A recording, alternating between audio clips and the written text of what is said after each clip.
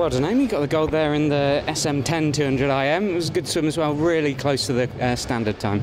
Yeah, I would have liked to get the qualifying standard time, but at the end of the day, my main focus this year is European, so I'm concentrating more on the trials at the end of this week, and I'm just glad that I got in and get to have sort of a couple of races, get that used to the pool, and just see how it goes from here. It's a nice improvement from heats to final as well. Chopped a couple of seconds off. What did you do in between?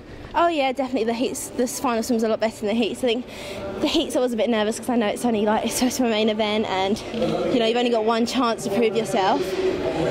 And we watched the videos back upstairs, and we just saw some technical bits that can be done better, and that's what I went into the final and did. Been spending a bit of time training at the National Performance Centre in Manchester. How has that been helping you, your swimming? Um, I've mainly been training at home, really. I've had bits and pieces at the High Performance Centre, and it's just great because I mean, you've got everything in one now. Instead of having to go all over the country, you can just go to Manchester and you've got your nutritionist, you've got your physiology, you've got your psychology, you've got everything in just one big base.